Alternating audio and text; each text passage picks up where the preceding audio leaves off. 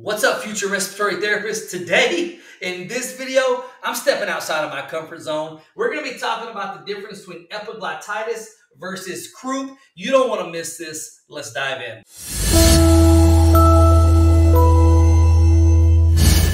All right, so as I stated in this video, I'm stepping outside of my comfort zone to bring you information that you have requested multiple times. Joe, we need some Neo stuff. We need some PD stuff. Look, I'm not that guy. I'm not the Neo PD expert. My background is extensively in adult care, but I feel confident to be able to give you a quick rundown in key things you need to be prepared for when taking your exams and working through your educational process to differentiate between epiglottitis versus croup. Now, I know I told you that I am not a PD expert. But good for you, I actually have a PD expert now working on the team, and there is a course in place right now that is specifically focused on bringing you Neo PD supportive content. That is in the works. When that is done, you will be able to find that right here in the Respiratory Coach Academy.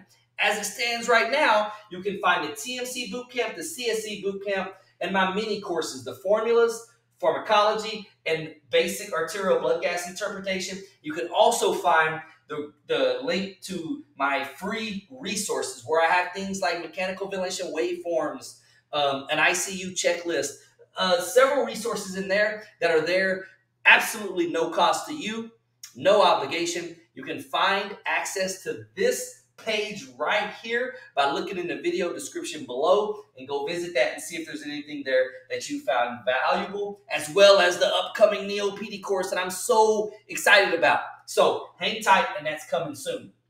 Now, back on topic here epiglottitis versus croup. The first thing you're going to have to be able to do is differentiate which is which. And it's funny because I'm referencing chapter 35, good old Egan's 13th edition, page 711. And um, it starts off this when talking about croup. It says the evaluation and treatment of a child with croup must focus on distinguishing it from other disorders such as epiglottitis.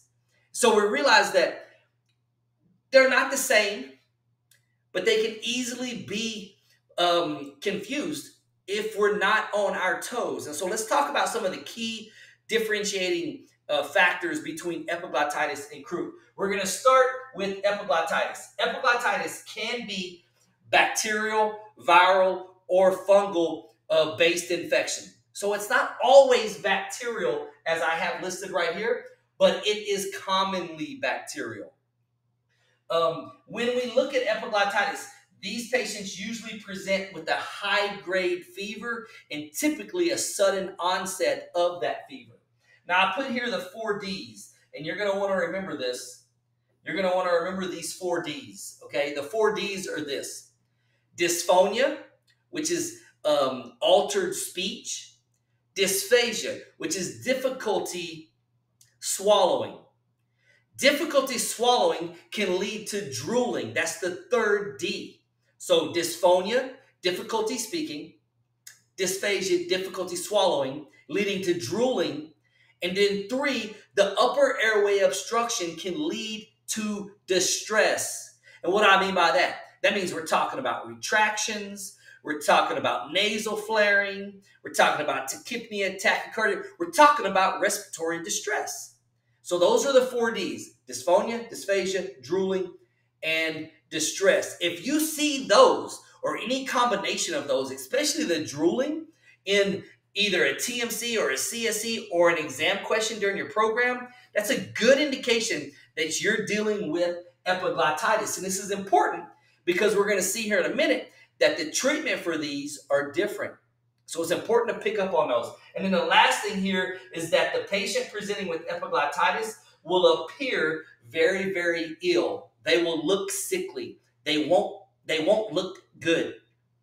So, so we can put all these together and say, okay, okay, I'm thinking now epiglottitis. Now, the opposite of this is when we think about croup. Now, croup is typically viral based, it's caused by a virus. Uh, they will present with a barking cough. They will present particularly with stridor. And they will be irritable. They're not going to feel good, but they're not going to look overwhelmingly sickly or ill like what we're talking about over here with epiglottitis. And so we can see this. And Egan's actually talks about this. I don't have it highlighted, so I can't find it here quickly. But Egan actually even talks about the treatment of croup. Unless there is stridor at rest, typically is treated at home.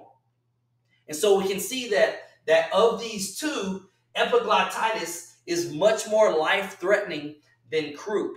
And so that's why we have to be on our toes to be able to identify it and and and and, and treat it effectively and early. Now, when we talk about diagnosing, um, there's different elements that we can use to diagnosis, but the big one for us as respiratory therapists that you probably going to likely see on your exams is what is the difference in their x-rays. Now, real quick here, when we're talking about the difference in x-rays, this says lateral. That word right there is very, very important. Lateral neck x-ray. Now, when we talk about croup, pretend I didn't put chest right here because it's not really a chest x-ray. It's really an AP neck x-ray. What does that mean? AP means front to back. So we're going to do the x-ray straight on. Lateral means we're going to do it from the side. And so what we know here is that on croup, when we look at an AP neck x-ray, what we're going to see is a steeple sign when we look at the trachea because it's an inflammatory process that narrows the trachea. And so you think about it like um, a building that has a steeple. That narrowing of the trachea right there is what we call the steeple sign. So if you ever hear steeple sign described or mentioned in an exam question, you know you're talking about croup. You see, that's very, very different than what we're going to see over here with epiglottitis. When we take a lateral neck x a lateral neck x-ray, we're going to see the thumb sign. And so you're going to see the swollen epiglottis, and it's going to look like the thumb sign. Now, Egan's talks about this on page 712, table 35.6. It's very clear in comparing the two of these. I suggest you go look at this so you can see the age differences and different ways that they differentiate them.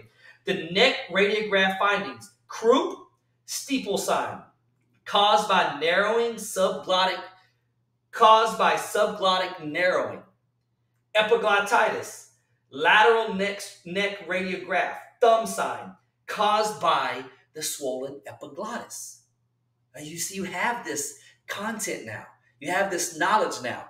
Thumb sign, epiglottitis, steeple sign, croup. I think I made that clear. Now, once we have identified that we are dealing with an epiglottitis patient, there's a couple things we need to do. First things first, we need to do an elective intubation. And what I mean by elective intubation, I mean it doesn't matter how the patient looks right now. It doesn't matter what their blood gas shows. It doesn't matter. What matters is the fact that we have a patient with an inflamed epiglottis that, if not treated effectively and appropriately, could swell to a point of complete airway obstruction. And now we have an emergency situation on our hands, and we're not going to play around with that.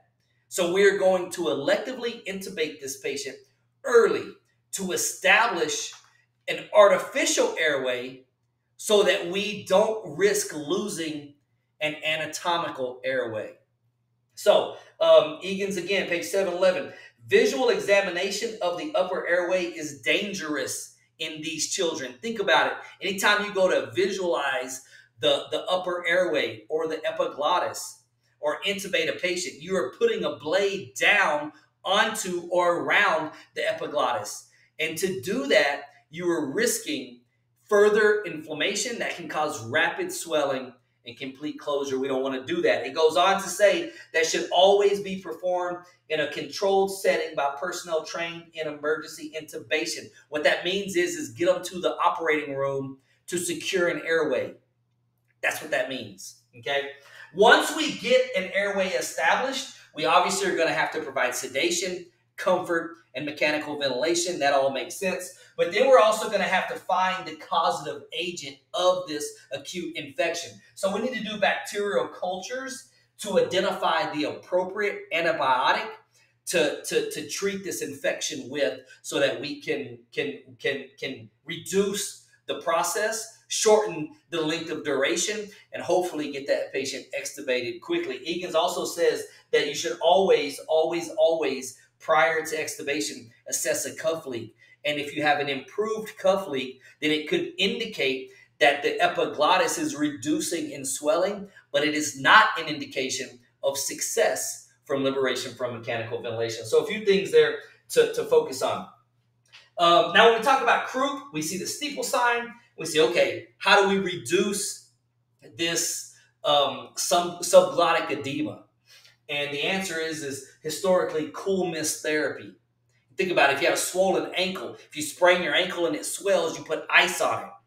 That's that's a that's an exudative process. That's the same thing that's happening here. We have an exudative process happening in the subglottic region, and we need to reduce that swelling, cause vasoconstriction. We can't put ice on this, but we can put cool mist aerosol therapy, and that's one of the treatment plans. We can also use pharmacological agents such as racemic epinephrine, which is an alpha agonist, which causes vasoconstriction. It will reduce the subglottic edema in these patients. And then also corticosteroids, which will also reduce the inflammatory process. And that is all we're trying to do here is to reduce the inflammatory process to aid the patient to be able to breathe easier throughout this process. Now you may be saying, well, why can't we give corticosteroids over here in epiglottitis? Well, I don't know the answer to that, but Egan says the use of glucocorticoids, corticosteroids, in the initial treatment of patients with epiglottitis is no longer recommended. So there's that for you. So that's the key findings with epiglottitis versus croup. Remember the four D's drooling, dysphagia, dysphonia, distress. You're thinking epiglottitis. You're looking for the thumbprint sign, and you're going to be electively intubating this patient to secure an airway before we lose an airway.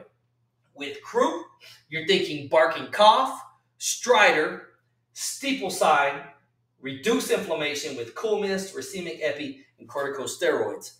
And that is the difference between epiglottitis and croup in a very surface level presentation. I'm respiratory coach. Stay here with me right here on YouTube. If you haven't already, hit the subscribe button. I know 50% of you haven't. So please hit the subscribe button so you can get these videos to you every single week as I continue to stay loyal to you and to the respiratory therapy community in posting one every single week. Come follow me on Instagram at Respiratory Coach, TikTok at Respiratory Coach, LinkedIn at Joe Lewis, and send me an email, respiratorycoach at gmail.com. I would love to converse with you on uh, outside of social media. That's where you can find me.